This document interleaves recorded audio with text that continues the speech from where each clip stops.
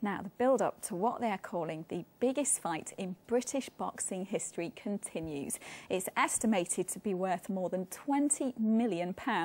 80,000 will be at Wembley for the rematch between Carl Froch and George Groves. Angela Rafferty has had exclusive access to Froch and his family in the lead up to the big fight.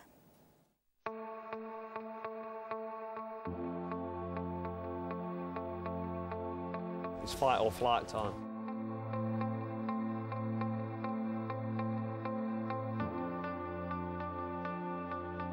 We don't like each other, and that's what's making this fight so big.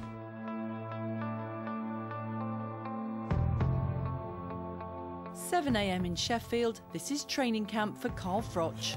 Ahead of the biggest fight of his career, nothing is left to chance. All day, every day, five times a week, this is the routine.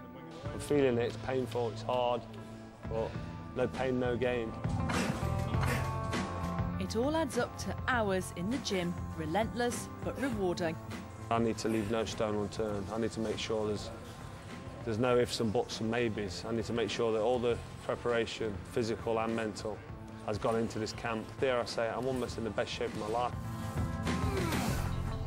Team Froch has taken on a new dimension, worked with a psychologist to make sure he wins the mental as well as the physical fight. He's a trash talker. And I couldn't get my head around the fact that he was being really, really sort of disrespectful to me and talking down my achievements. I didn't like it. So I let it wind me up, I let him get under my skin.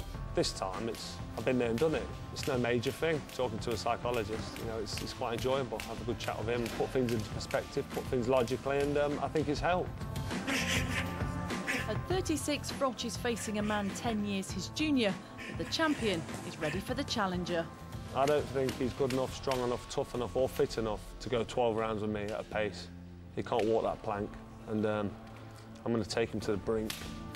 At his side will be the man who admits that Froch is not just a fighter, but a friend. He has everything you need. He has fitness, he has stamina, he has ability, he has toughness. So he, he's kind of what you need in a, in, in a professional fighter. He knows how to win, he's a winner. And um, that's what the plan is on the 31st of May. There's no greater feeling than standing victorious in the arena.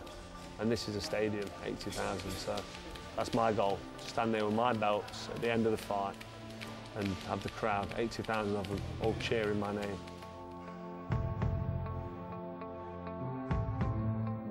Great stuff.